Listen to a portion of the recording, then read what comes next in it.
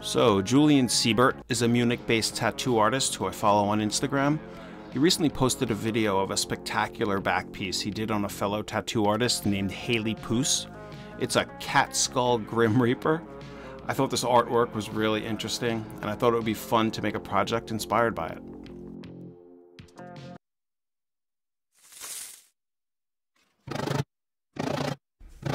So I'm starting this project with quarter inch veg tanned leather and a pattern that I've never sewn before. Over the years, I've used and spent a lot of time sharpening many expensive leatherworking knives, but recently I started using this. It's just a basic surgical scalpel. I gotta say, I think I found my knife. It's dangerously sharp out of the box, and if it ever does get dull, I can just replace the blade. No more wasted time sharpening knives. I find leatherworking just so relaxing. If you're looking for a new hobby that's good for your mental health, you should really consider it. There's just like a zen quality to leatherworking. It's just so relaxing and satisfying. Like take this process here for example. This is an edge beveler. I could do this all day long. It is just so satisfying. This is only, I think, the second bag I've ever made. I really mostly make sneakers. Right here I'm cutting the hole for where the closure hardware is going to go. You know, one of the good things about leatherworking is that it requires so little to get started. All you really need is a good knife, some needle and thread, and a pricking iron. It's funny, this pricking iron that you see here, I found it on the subway, and that's actually what got me into leatherworking. So here I'm drawing the artwork on the leather. I started off using pens, but I, by the time I was done, I had thrown everything at this. I used markers, paint, dye, pastels, really anything I had. Veg tan leather is really great for painting. Um, I don't think chrome tan leather or any coated leathers are really appropriate. Veg tan leather just soaks up the pigment really well. So here I'm going to emboss the leather. This is a technique I came up with as an alternative to traditional leather tooling. Traditionally, uh, leather is tooled with a hammer and die to create an impression in the leather, but uh, I wanted more freedom to have more of an illustrative effect.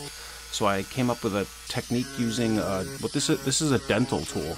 It's a reciprocating dental tool, and it basically does the same thing as traditional leatherworking, where it hammers the leather. But this just gives me more freedom.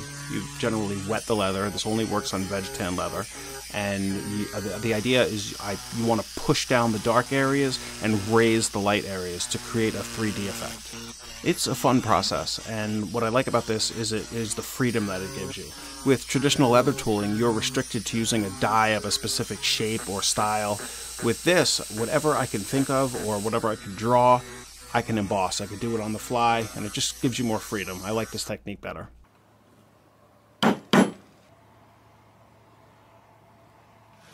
So I decided to laser cut the side panels.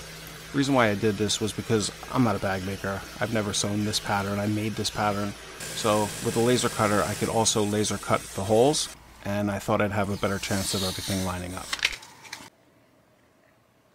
Alright, so these side panels, the edges have to form a 90 degree angle, and they have to stay in that shape. There's a couple ways to do that. I felt I could maybe use contact adhesive and some clips to get it there, but the right way to do it is using a die. Um, it's a process called wet molding. I've done it a few times making sneakers, but um, yeah, this is how you do it. It's I used a half inch Delrin. You could use acrylic or wood or really whatever you had. I laser cut it into a male and female, and the idea is you wet the leather and you basically sandwich it between the male and the female die. You let it dry overnight. And hopefully, if everything worked out properly, it uh, will permanently hold the shape afterwards. And as you can see here, everything seems to have worked out fine. Yeah, that'll do just fine.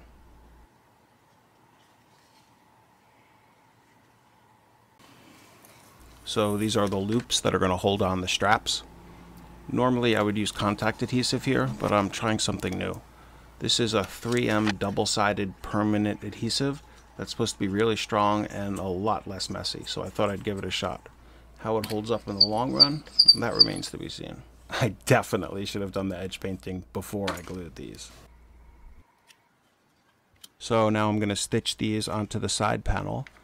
And I thought now would be a good time to ask any leatherworking YouTubers out there, do you have a process for filming your stitching sessions? I just cannot stitch and film at the same time.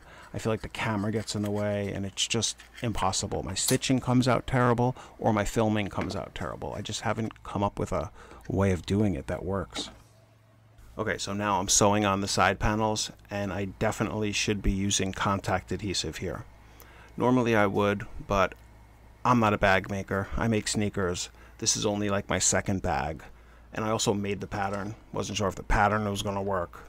So I had uh, nightmares of having to rip this thing apart, and I just didn't want to do that. But luckily everything worked. And I attribute that to laser cutting the holes. Um, I was able to line up all the holes because the stitch holes were laser cut, so that was good.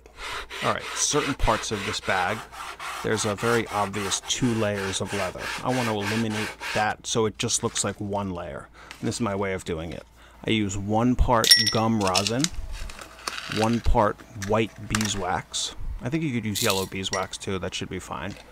I use a paraffin wax, in this case it's a crayon. Crayons are great because you could pick any color you want and a few drops of oil. In this case, I'm using olive oil, I believe, but uh, any oil should work. What we're going to do is we're going to heat this up until it becomes melted and homogeneous. And then I'm going to pour this into a mold. I have a silicone mold here, but you could use anything. You could use a Dixie cup. And then we're going to let it cool for about an hour. And then what we have is, a, is this puck and this thing is great. What you do is you, you rub this on your edges and it fills in the gap and it gives it the appearance of just one layer of leather. I'm going to stick this in my stitching pony to get a better angle. And as you can see, that, that, that, that seam line just disappears. And we just burnish it till it's flat and shiny. And we're good to go. Alright, so here I'm laser cutting the straps. You might notice this is a different laser than from before. I needed a much bigger laser. And luckily, I have one. And this laser has a conveyor belt. For those laser cutter guys out there, um, you might be jealous because this laser is awesome.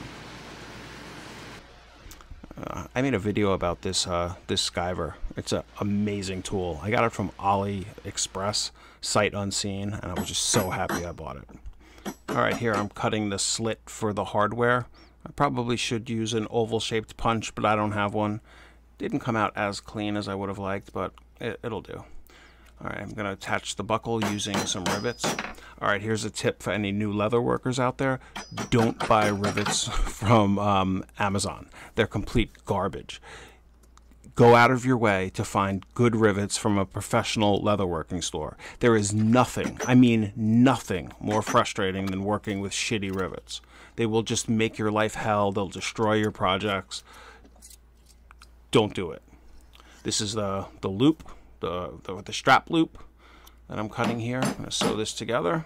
And then we're going to slide it on. And um, moving on. Okay, so I bought all my hardware from a store in the garment center, New York City's garment center called Botani. If you're a leather worker, this store is like Willy Wonka's factory. You go in there and they literally have every piece of hardware or leatherworking tool for any project in any color and any size. It's just great. All right, so I wanted to embellish the strap. I was thinking of studs since the artwork sort of has like a gothic or punk rocky kind of feel. I wanted to use maybe spikes, but then I had what I thought is a better idea. This is a 700 watt fiber laser.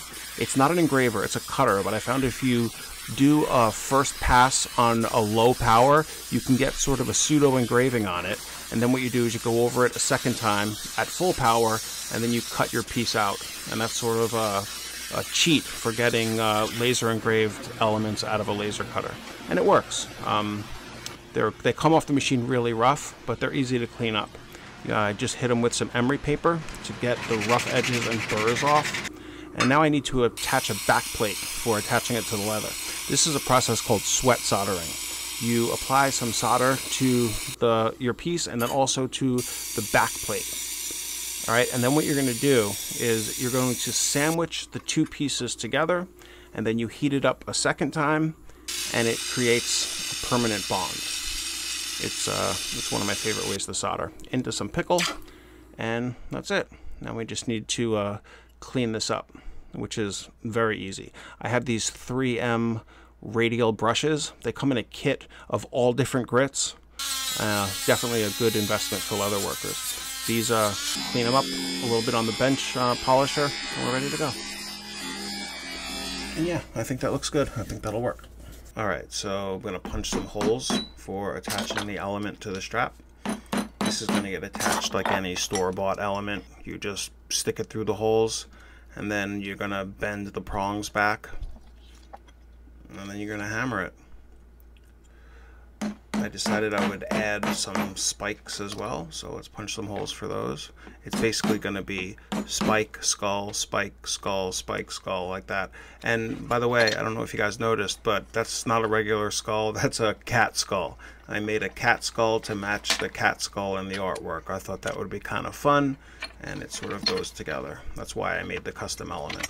Alright, so we're going to repeat that a few times and crack on. Alright, so here I'm going to attach the closure hardware. I also bought the closure hardware at Botani. If anyone's interested in shopping there, I could attach their info in the description.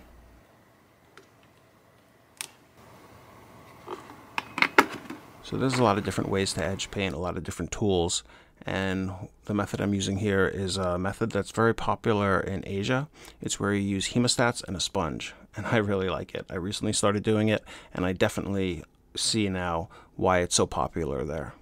We're gonna attach these straps and we're pretty much done. this brass is like a fingerprint magnet. It's terrible. So this is it. Hopefully I was able to showcase the beauty of leatherworking and maybe even encourage a few to take it up as a hobby themselves. The process of transforming raw materials into functional pieces I just find incredibly relaxing and satisfying. Aside from merely exercising your creative skills, it's also a powerful outlet for therapeutic self-expression. It requires very little to get started, but there's an endless amount of tools you could buy if you end up loving it as much as I do. I'm not even sure what I'm going to do with this bag. I just saw the tattoo artwork and I thought it would be fun to build a project around it. Maybe I should send it to the tattoo owner, but I'm not sure if that would be weird or not. So what do you guys think the normal etiquette for something like this would be? Should I have gotten permission first before using the artwork? It's my understanding permission is generally required only if what you're making will be sold. But what do you guys think? Anyway, thanks for watching. Please like and subscribe and stay tuned for my next video. I have a couple really cool projects in the works. Alright guys, cheers.